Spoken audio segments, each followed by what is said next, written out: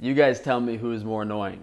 These fake natty juice head monkeys, ooh, ooh, or the virtue signaling fairy boys that seem to be the next best experts on exercise form every few months. Yeah, why don't you show us your form in the sauna if you're so obsessed with it, like you do with the rest of your buddies? You know, that makes for a good analogy. Is it more important that you're, you know, five degrees higher in doggy style, or is it more important that you're beating the Mario coins out of their kitty? Same thing applies to weightlifting. Anytime someone says you're doing something wrong, it happens to be about form as opposed to weight being used, rest time, repetition tempo, exercise choice. And these are things that classic bodybuilders have been talking about for dozens and dozens of years. I might have figured out some of these things on my own, but they're certainly not new.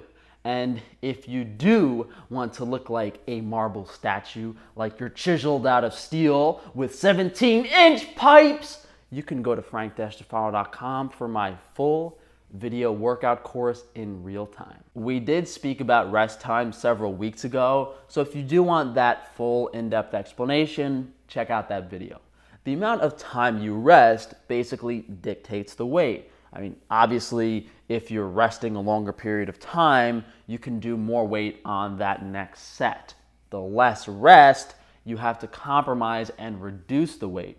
Vince Gironda, the original carnivore bodybuilder, advocated for very short rest time. It's brutally hard work. Well, Gironda's founding principle was to always strive to do more work in less time. So he actually recommended using less than 60 seconds of rest 30 seconds was his baseline. As mentioned earlier, his better athletes only took about 15 seconds of rest. And this is interesting to me because I actually didn't know this guy advocated for this until I was writing the script for this video. I started 20, 30 second rest times because I watched Kai Greene doing the same thing.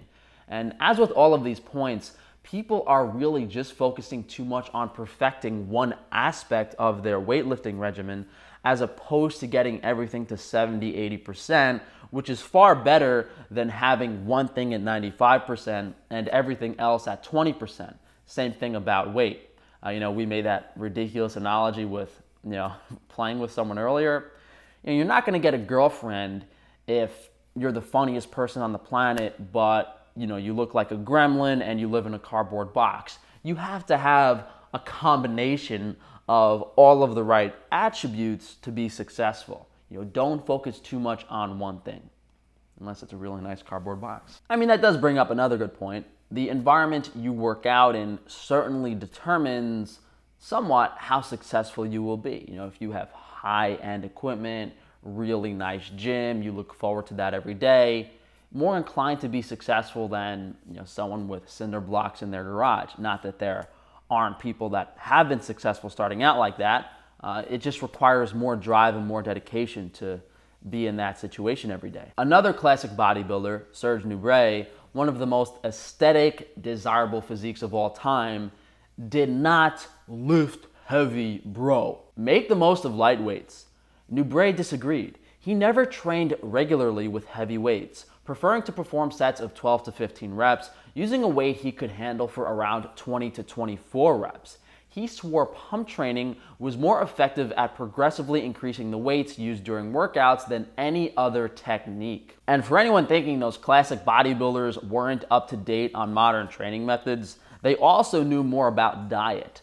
Vince Gironda advocated for digestive enzymes and vitamin supplements, the basics of health, which modern bodybuilders glance over in favor of drugs and calories and heavier weight too. When we move on to repetition tempo, we also have to bring up mind muscle connection because the reason you're going at a certain pace is to efficiently flex and stretch the muscle.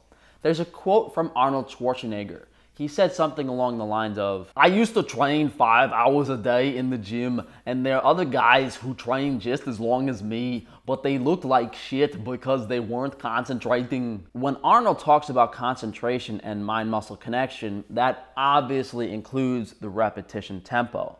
I do think most people are concentrating just on the wrong things. It's ingrained in the average weightlifter that if you move a weight with a certain form, you know, your muscles are going to grow. But it's not that simple. It's not that easy. You know, it makes you wonder if they intentionally hide this old bodybuilding wisdom. That brings up exercise variation. Some of you may have heard of muscle confusion, which I think is relatively new, so I couldn't find any classic bodybuilders talking about that, probably because they all did it. If they were spending three, four, five hours in the gym, every single exercise possible for whatever muscle group they were working would have likely been done. But with all of these points, you have to understand the application. By doing different exercises, you're not like confusing the muscle and stimulating some sort of untapped, unknown growth. You're simply trying to figure out what exercises work for you. Then, after you spend a few months to a year in the gym messing around with different equipment, you know which exercises allow you to take the muscle to failure most effectively. And back to what we said earlier, make sure every component of your routine is as high as possible. You know, if someone's working out at 50% capacity and everything and half assing their workout, they're going to be better off than someone who has perfect form but isn't doing anything else correctly. Uh, so, thank you guys for joining me today. Let me know how you like this video.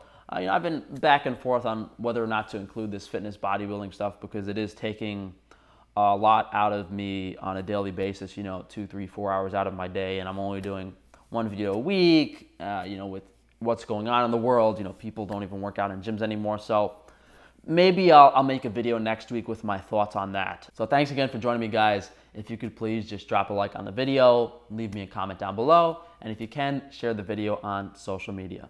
I mentioned earlier, frank-tufano.com, where you can get the workout routine as well as Frankie's Range Meat, Frankie's Naturals, Wi-Fi shielding, all that good stuff. I'll see you guys for tomorrow's video.